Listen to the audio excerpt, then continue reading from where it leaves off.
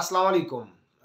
मैं मोहम्मद इरफ़ान और मैं आज आपसे मुखातिब हूँ और आपके लिए एक ऐसा प्लेटफॉर्म लेकर आया हूँ, अराउंड यू के नाम से, जिसमें आपको ऐसे मौके मुहैया किए जाएँगे कि आप उसके अंदर अपने साथ बीते हुए कोई भी लम्हात, कोई भी स्टोरी जो आपके साथ बीती हो, कोई ऐसा कोई मिस्टीरियस वाक़ जो आपके साथ गुज़रा हो और कोई ऐसा कोई फ़नी वाक़ हो, कोई कोई सैड मोमेंट हो, कोई ऐसी कन्फेशन हो कि जो आप करना चाहते हो, या कोई भी ऐसी स्टोरी कि जो आपके साथ हुई हो और उसमें दूसरों के लिए सबक हो और आप वो लोगों तक शेयर करना चाहते हो। कोई फ़नी वाक़ है जो आपको हमेशा याद आए और आपको हमेशा हंसा के रख दे तो इस प्लेटफार्म में वो आपको मौका दिया जाएगा कि आप वो लोगों के साथ शेयर करें।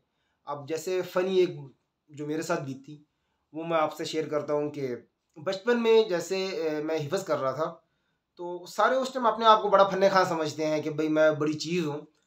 टीन एज होती है, मेरे एक दोस्त को गली के एक लड़का है, था उस टाइम मिट्टू, उसका नाम था मिट्टू मिट्टू कहते थे उसको, और काफ़ी बदमाश टाइप था। उसने उसको काफ़ी मारा और उसने आया मेरे पास कि भाई उसने मुझे इस तरह मारा है और मैं उसको धमकी दे के आऊँ कि भाई मैं इरफान को लेकर आ रहा हूँ। बहरहाल, हमारा एक छत पे इकट्ठा होना तय हुआ। हम उस छत पे इकट्ठे हुए। हम तीन चार दोस्त थे, साथ वो भी दो तीन थे। तो उसने मिठू ने पूछा कि भाई, अकेले के लिए आओगे या सब इकट्ठे होके आओगे? तो मैंने कहा कि भाई, अब क्यों टेंशन ले रहे हो? मैं अकेला ही काफ़ी हूँ आपके लिए। बस मेरा इतना कहना था कि मुझे कोई पता नहीं चला मेरे साथ क्या हुआ है। मुझे बस आसमान नज़र आ रहा है। और मेरे मुँह पे घूसे लग रहे हैं।